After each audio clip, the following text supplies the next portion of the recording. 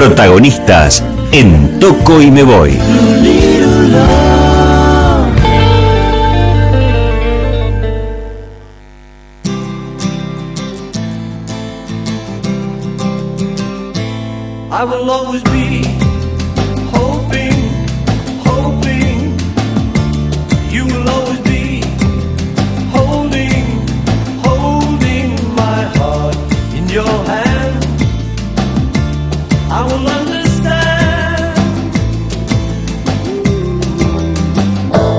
13 20 minutos, continuamos en Toco y me voy. Lo habíamos anticipado en nuestros eh, temas. eh, con entrada libre y gratuita, Yoga por los Caminos del Vino celebra el Día Internacional del Yoga el próximo martes, más precisamente 21 de junio a las 18 en la Enoteca Peltier 611 de Ciudad. Para conocer más detalles al respecto, qué mejor que dialogar con una colega de dilatada trayectoria, por supuesto, muy reconocida y creadora y directora de Yoga por los Caminos del Vino. Hablamos de Alejandro Navarría, que muy gentilmente atiende nuestro llamado. Alejandra, ¿cómo estás? Buenas tardes.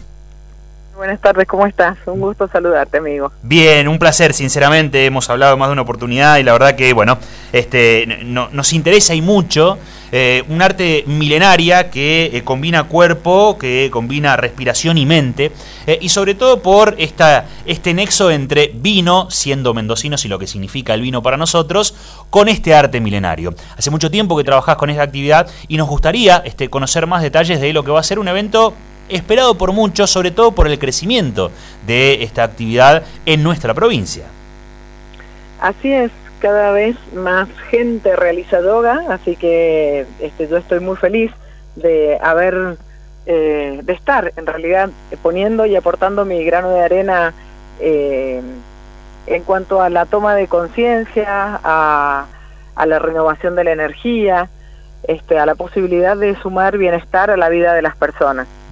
Eh, cada vez más gente practica yoga, esto es en todo el mundo así, y afortunadamente el circuito de yoga por los caminos del vino en Mendoza, con todo lo que significan las bodegas y estos escenarios vitivinícolas para nosotros, bueno, ha sido muy bienvenido. Entonces creo que esta actividad que vamos a presentar el martes eh, va a ser realmente también muy muy bonita para, para toda la gente y muy útil, sobre todo para el interior. Seguro, de seguro. cada uno. Eh, ¿Qué significa el yoga para vos, Alejandra? Eh, bueno, muchas cosas. Realmente yo siempre digo que el yoga te atraviesa y cuando te acercas a la disciplina eh, no hay como un- una vuelta atrás, ¿sí?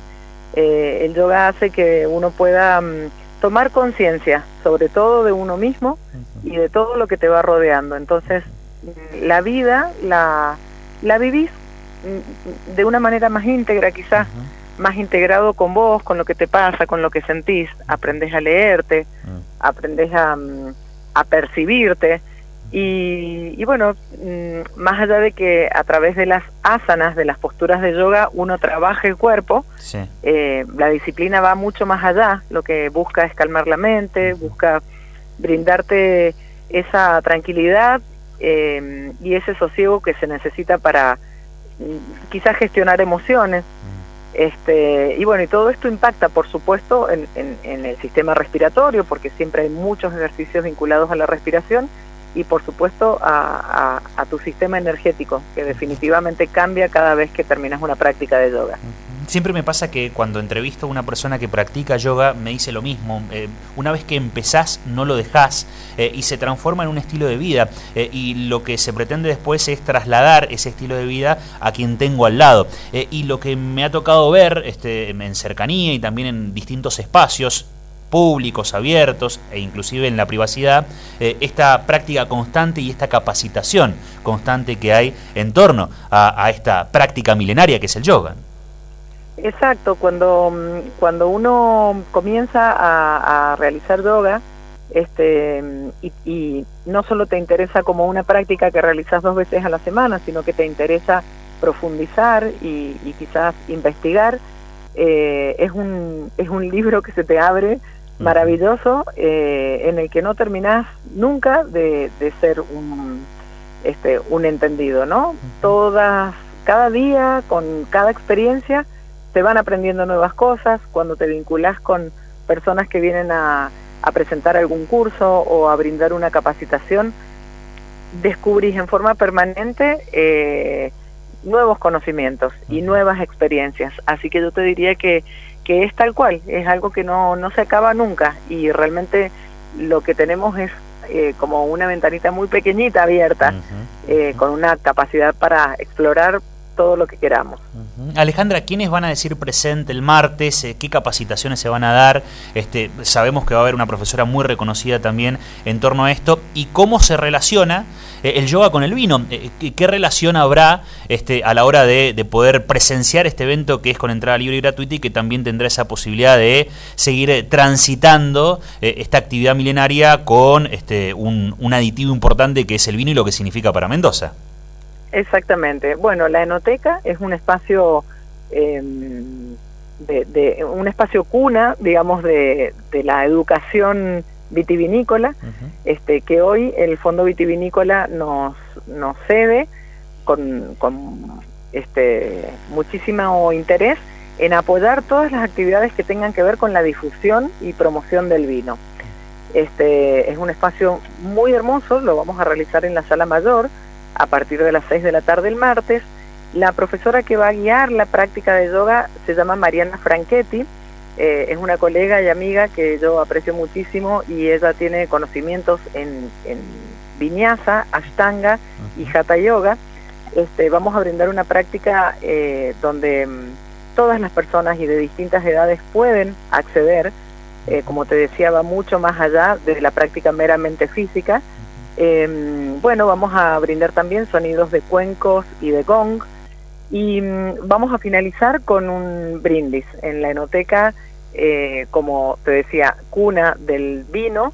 En todas las actividades que se realizan tienen que ver en, en alguna arista con el vino. Entonces, eh, la propuesta de Yoga por los Caminos del Vino es que las personas puedan disfrutar en espacios vitivinícolas de una práctica yógica y que después bebido con moderación, puedan acercarse a esta mm, a esta industria madre eh, de nuestra provincia y en este caso va a ser a través de la degustación de un vino. Se recomienda que cada uno lleve su estirilla de yoga, ¿no? Exactamente. Este, mm, nosotros desde Yoga por los Caminos del Vino tenemos siempre algunas para prestar, este, pero sugerimos eh, que cada persona participe mm, vestido con ropa cómoda, como si fueses a hacer gimnasia, para que te puedas mover sin sin esa limitación de un pantalón ajustado. Este, que lleves tu esterilla de yoga y una mantita para taparte durante la relajación y el baño de gong. Eh, Alejandra, eh, aquellos que nos escuchan, este, y si bien es un programa deportivo que incluye también otro tipo de actividades eh, destacadas, que es lo cultural, lo, lo, que tiene que ver con la salud, aquellos que quieran y que están interesados en poder practicar yoga, ¿cómo pueden hacer? ¿Con quién se pueden comunicar? Si bien hay muchos eh, lugares este, que son de público conocimiento, eh, ¿a quién pueden acudir para empezar con la práctica este, que también se da en, espacios abiertos? ¿no?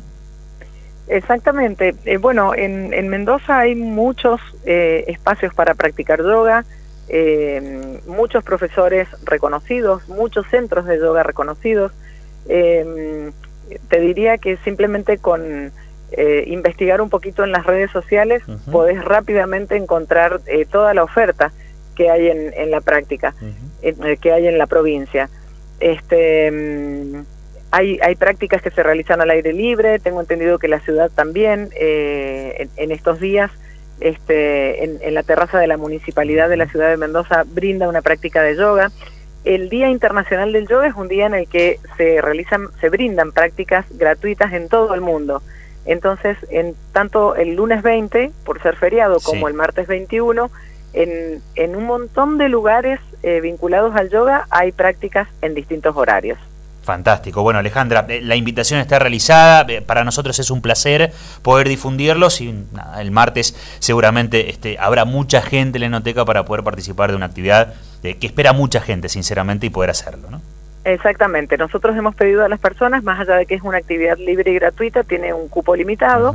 Por lo tanto, a través de Eventbrite pueden inscribirse. Bien este, y bueno, y nos veremos entonces el martes. Y nosotros en las redes también vamos a publicar a través de, del Flader este evento del próximo martes en el Día Internacional del Yoga. Alejandra, muchas gracias, buen fin de semana y a disposición.